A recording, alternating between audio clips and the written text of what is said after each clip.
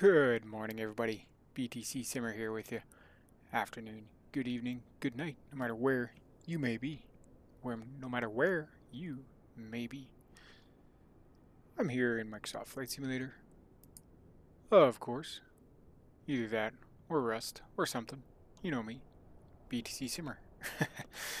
Alright guys, before we get to anything, before we get to anything today, you're probably wondering, what the heck is he sitting in? Well, figure that out shortly. We'll get to the price. Price BTC today, guys. I haven't shot a video with voice in a few days, so bear with me.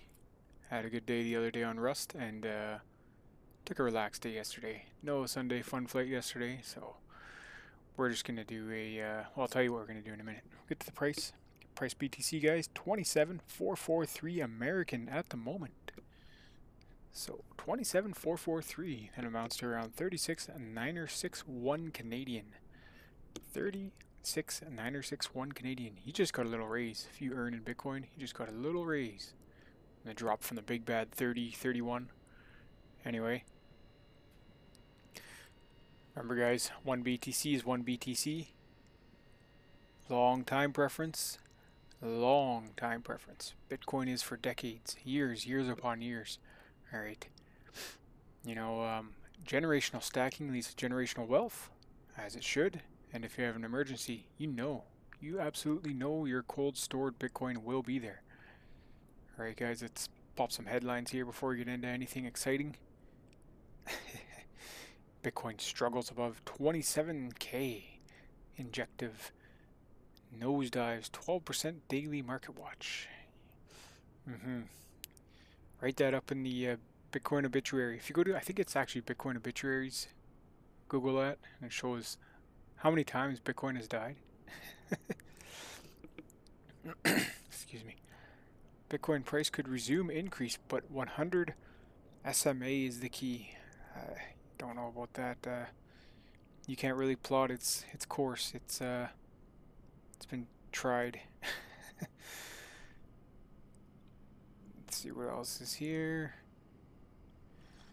Price crawls 2.5% off lows as weekly chart risks bearish engulfing.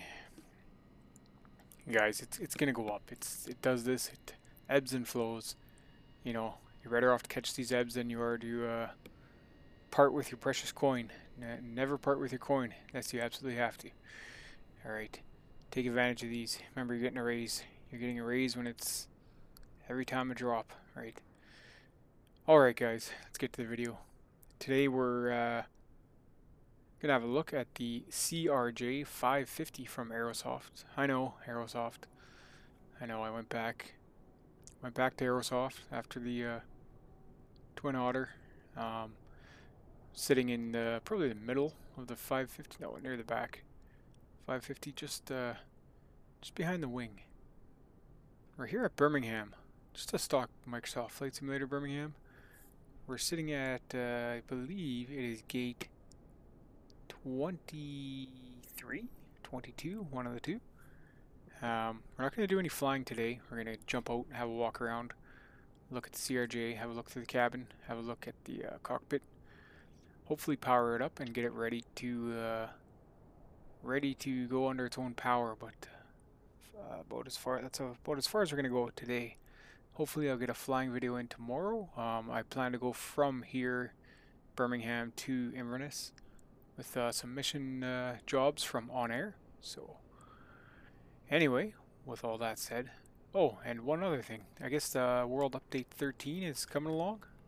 That's uh, going to include Oceania, Hawaii, and Antarctica. How cool, Antarctica. I mean, yeah, Oceania and Hawaii, that's uh, quite amazing, but the uh, Mystic Antarctica, I'll have to check out all those areas.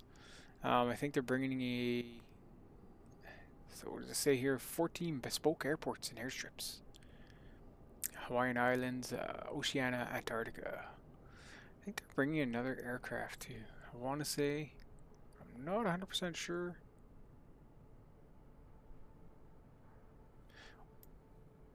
Nearby New Zealand and Australia. It's going to be amazing, guys. It's going to be amazing. Alright.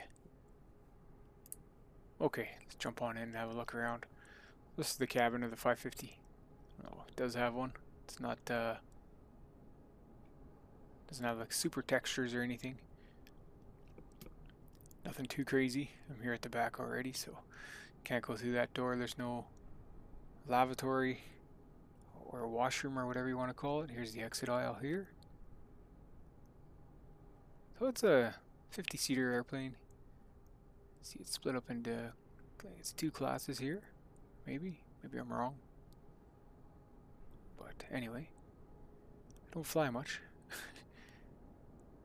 Front of the cabin here, service door, and then the uh, boarding door, stairs hook up to a jetway. Right, pop out this way. The port side. I'm just running the uh, private low, uh, livery, so it's got Captain Hans. I believe we're looking at the probe here. One of the probes are the pitot tubes. Not 100% sure. Heated probe, there's the probe. Alright. So you can take these stairs on and off when you have the uh, jetway come along. It's an option in the EFB. EFB is like the tablet. Comes with the airplane. Emergency lights there. Nice cargo door here.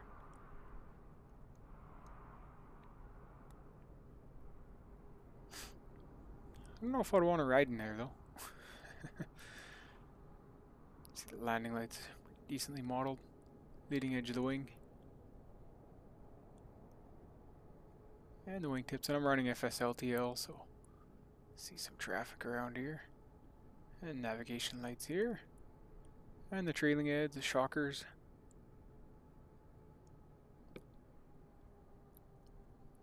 And all the control surfaces, and I mean, it's pretty decently done. We're talking Aerosoft here, so let's not give them too much credit, right? Another cargo hold back here. It's one you might be able to stand up in. I'm not sure. Maybe not. Still wouldn't want to ride back there. Right under the engine here. And these are, uh, what do they call them? General Electrics. General Electric turbofans. Alright. Back here to the APU. See the skid plate here?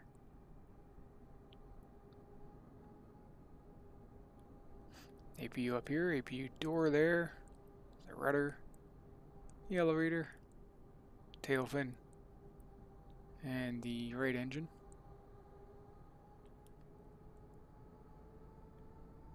More emergency lights here on this side, the starboard side. Trailing edge of the wing, the wingtips. Wingtips look good. Navigation lights again, leading edge. And there's your landing and taxi. And we can have a look at the gear too while we're down here.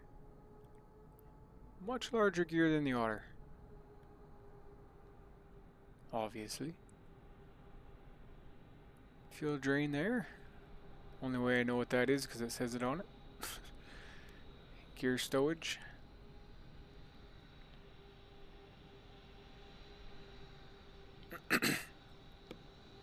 and here's your service door. And that says hot, so you probably wouldn't touch that. Keep away danger heated probe. And of course more probes along here. Let's see what that is. Another one. Heated probe, heated probe. I don't know which one. I think that one's a pitot here. Nope. Pitot is the one that uh, shoots off. There. Nose. Has a unique look. The windows almost wrap around when you're looking straight at the nose. Seems like a busy day at Birmingham. Here's the nose gear storage. Stow, stowaway, and the lights. Light. And come up here, you can see that uh, the escape hatch modeled. And obviously a few other things for communication, beacon light up there. That's the outside of the uh, CRJ 550. So I think it's a beautiful aircraft. Um, I think Mitsubishi owns it now. I think they uh, manufacture them. Um, we'll go over a few specs here, then we'll hop inside. So C2 General Electric, uh, CF348C1 turbofan engines, power 13,790 pound force, max cruise speed 473 knots. Just gonna enjoy my coffee here while it's still warm, guys. Fuel economy, so what does it have? Uh, 1378 for nautical miles, service ceiling 41,000 feet, rate of climb 2,000 feet per minute.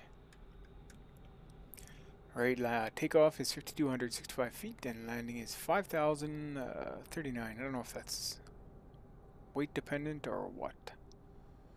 But we'll go to dimensions now.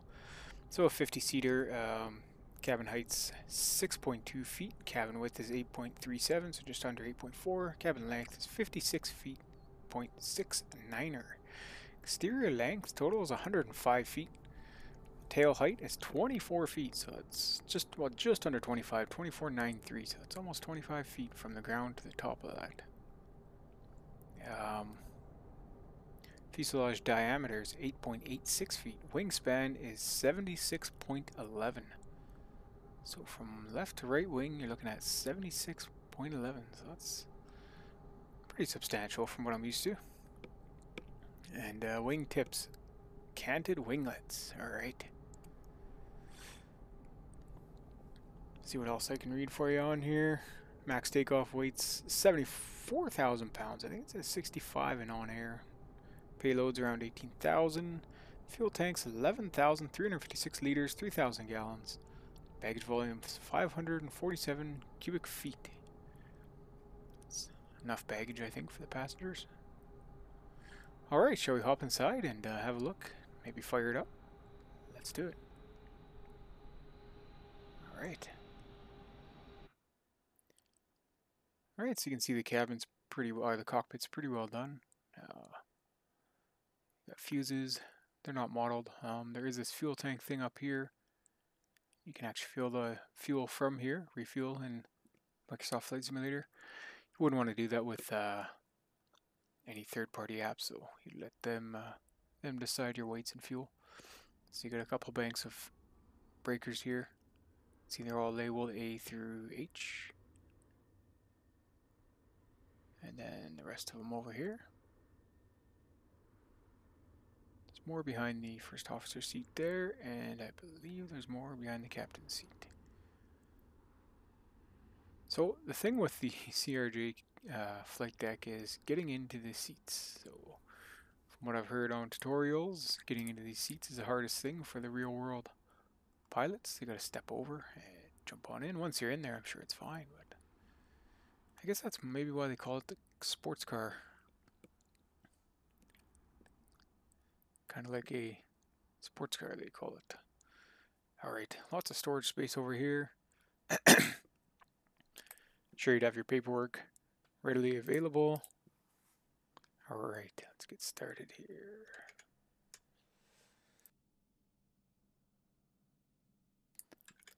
Okay, so First things first, and I wrote out some flows here, just so I don't get all mixed up. Uh, right. Jump into our cockpit view here. Okay, so when I first come in here, I check the gear, make sure it's down. Gear's right here. Check the parking brake, make sure it's up. Just pull and twist. Then go ahead and just go over everything. Make sure there's nothing on that's going to surprise you when you put any power to the aircraft. Um, everything's looking pretty fine. Spoilers and flaps. Look, they're in the right places. Um, showed you where the breakers are back here. And just have a quick glance at the upper panel there. After all, it is Flight Simulator. You can take some shortcuts, or you can play it as real as you like. Um, a lot of things are modeled in this aircraft, so fly at her if you like. Alright, so it looks pretty good to me. So with that, we'll go ahead and turn on our master.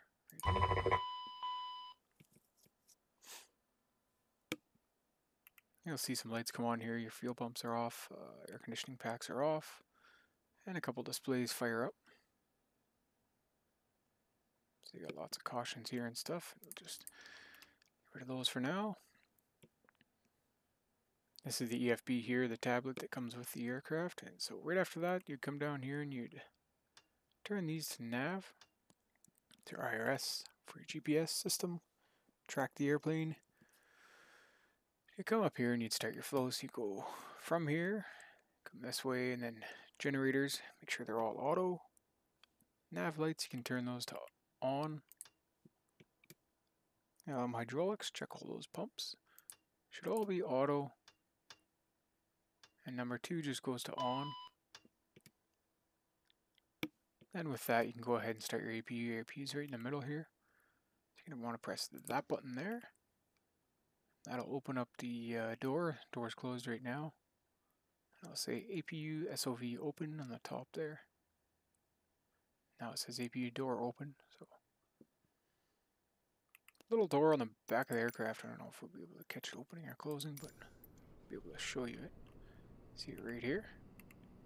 Right there. I don't know if my mouse is in the right area, but see that flap open there?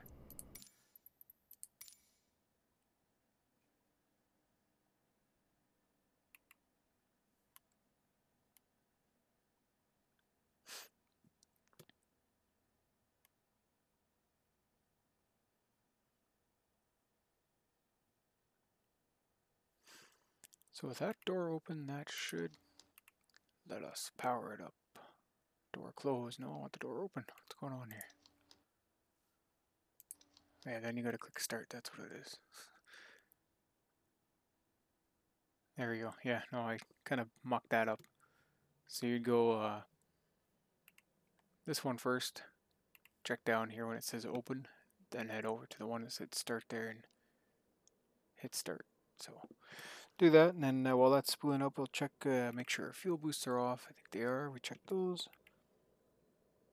Um, check the ECS button down here. There, you got the APU on now, and you can see that it's powered up here. Sending power around. Okay, so we can configure our pressure as well for our landing aerodrome if we were to fly somewhere today, which, which we're not, but You can do that right up here. Cabin pressures. So there you go. 160 feet I got in there. Um, we can turn on our air conditionings now. Turn on the packs. Turn on the circulating fan. And the window heat. Those are both right here.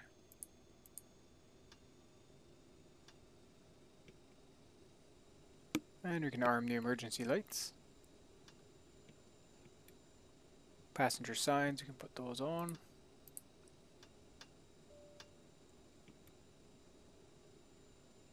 And we go ahead and set our barometers. So those you can set those right down here. Um, 1013 right now. Uh, you can set that with this. So you can set the captains, then you can set the standby right here. And same over here on the uh, co-pilot first officer bar right here. But you can also do the flight simulator trick and just press B when you're on the ground, and sure enough, it'll set all three of them for you.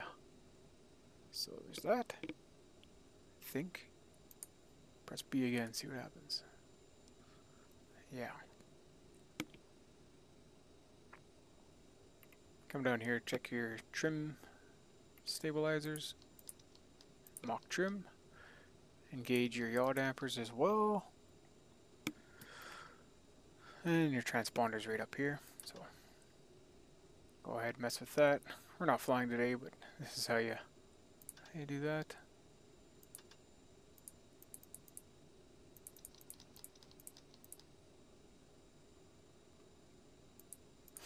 Display, squawk display, alright. So then you come to the CDU, fun part.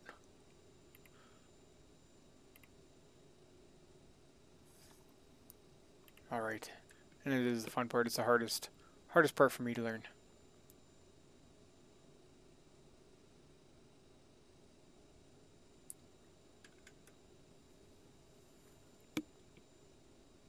Alright, so you go position init. Position init. So set position. So FMS position is, is this one here, but we'll put in uh, EGBB airport. And we'll grab this here. So that's the airport, but this is our actual position, I believe. Lined up with our IRS. Take that, go to, where were we at here?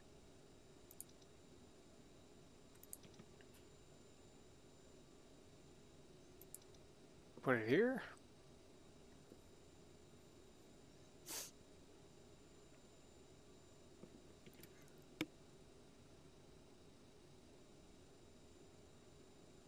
And go back here to next page. Update from Navigate, Navigate, alright. GNS1, so yeah, there we go. That's the same thing, yeah. Alright, go to the flight plan page here. And can go ahead with all your particulars. Let's say we're going to Inverness, G, P, E. And alternate, we'll throw on Wick, E, G. Get rid of our spoilers here, they're going to be in the way. Originating runway. Uh, I guess we can go execute that. Performance. Get all this performance info from your EFB here. So let's just copy all this over. So can, I'm not going to mess with any of this right now, but just go to here, copy, makes it nice and easy. Or you can manually do it, either or. Set your cruise altitude. Let's say we're at 240, flight level 240, alternate zero fuel. With all that put in, you can go VNAV setup transition. I'm not sure what transition is down here. Let's say it's 6,000. This is set up for the States, obviously, North America. Um, that looks fine. Check the next page. That looks fine. Next page, is that descent? Sure, we'll leave it there. 250 and 10,000, that seems seems right.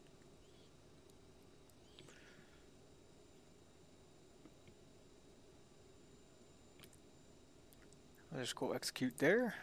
Execute that. Departure and arrival.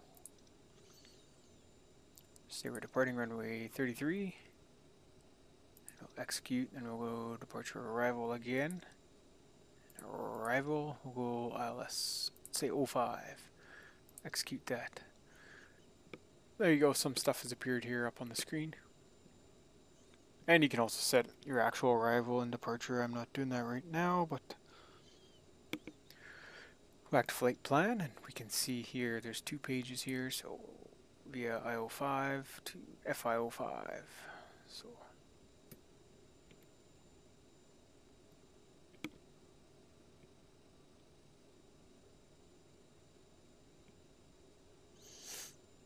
So you can also put in waypoints if you want. Let's say you want to put in, I know of one, it's called INBAS. INBAS.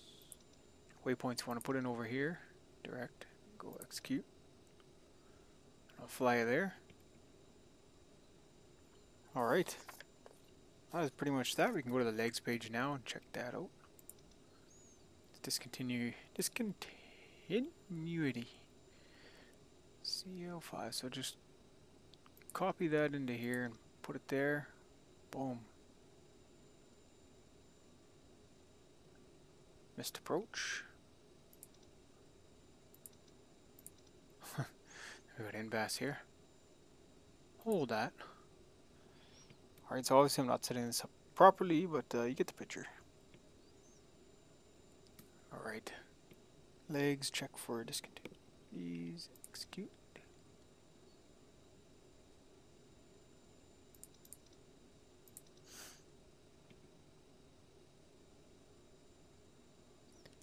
Okay, so we can come back to our EFB here see our takeoff speeds for our weights. Right here, V1, VR, rotate, V2. And go set all, and that'll send it to the PFD here, you can see a change. So the uh, rotate is 125, verify that there, rotate 125, good, good.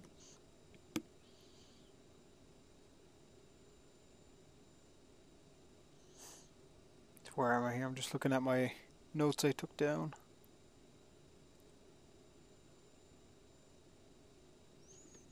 So yeah, then you can go back here.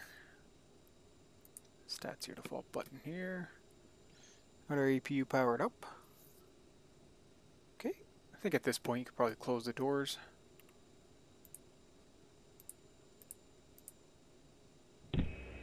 Captain, the cabin is secure. All passengers are aboard. Ladies and gentlemen, on behalf of the captain and crew, welcome aboard this flight. We hope you enjoy flying with us. Before takeoff, we would like to encourage all passengers to watch our cabin crew display the safety features of the aircraft. Alright. So yeah guys, I'm just quickly running through this to get it powered up. And uh, almost like a super quick tutorial, but not quite. so we got the door shut, chocks our way, and uh, beacon light, we'll throw that on. Park brake. No, why I got written down. Oh, because what you do here is push back, but what we will do here is we'll start the engines here. So we can go with our right engine, so we can turn on the boost pumps. I think you can turn them both on right now. I don't think it's a big deal. Then you just go here. So boost pumps on, engine R, start. Come down here, have a look. And you're going to want your N2 to power up to 18 to 20%. Once that happens, you'll come down to your fuel thrust lever here, hit the red thing up, push it forward to idle, and it should power up. So there we are at 18. That to idle. We'll watch and see what happens there.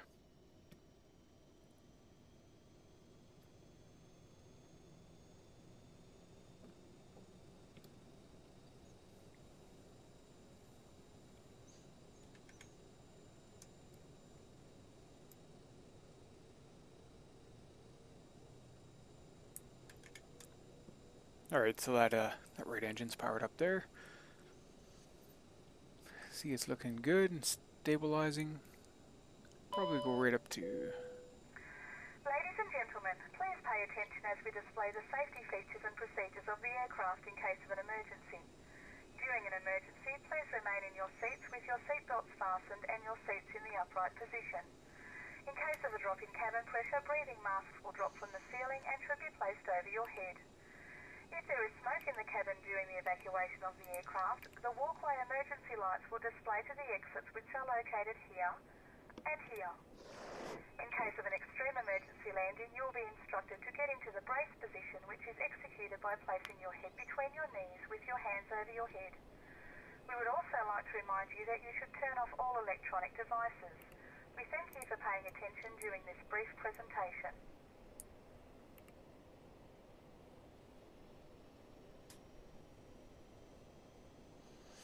There you go, you get announcements as well. How about that? Okay, same thing with the left engine. So the engine starts very basic. It's not anything crazy. It's just you have to have the power turned on and uh, certain things in certain ways. See it's spooling up fine there. Oil pressure's building. Looking good.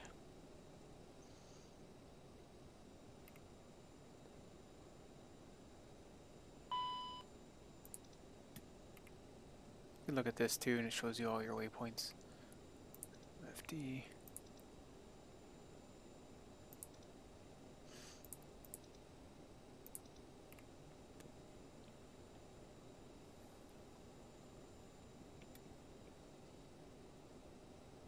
Alright, at this point you turn on your flight director.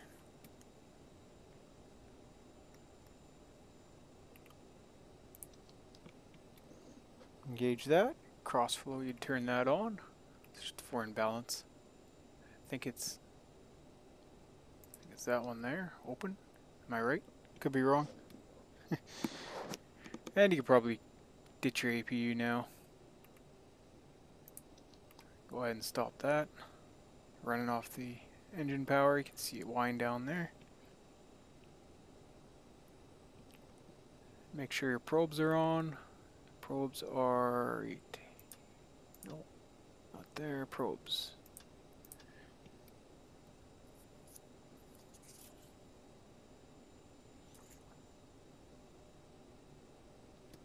Go ahead with the taxi lights. Turn logo lights on if you want. Where are they? They're right here. Those are landing lights over there. And your nose wheel steering toggles over here should be armed. And your reverse thrusters. Arm those. They're right here. Left and right. And you're ready to tax. You can take your handbrake. Put that down and out of the way. That's it, and we're already moving. anyway, guys, I think that's where I'm going to leave the video for today. Um, just taking it nice and slow and easy with the uh, CRJ. It's a complex plane, and there's a lot to it, so... On the next one, we'll fire up uh, from right here, and we'll be heading to Inverness. It's the next plan for the next video. Alright guys, remember, stack 'em sats. Have an awesome day. Thanks for watching, and thanks for all the likes, subscriptions lately, and uh, everything else. Take care, guys.